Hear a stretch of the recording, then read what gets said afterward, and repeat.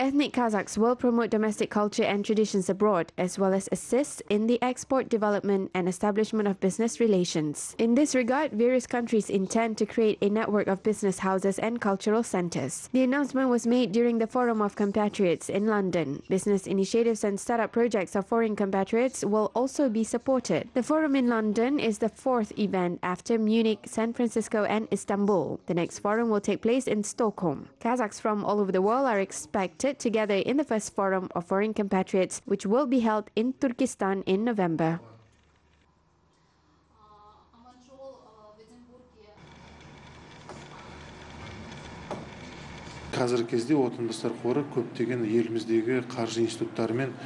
Currently, the Otandastar Foundation is working closely with many domestic financial institutions. This is all aimed to support foreign compatriots.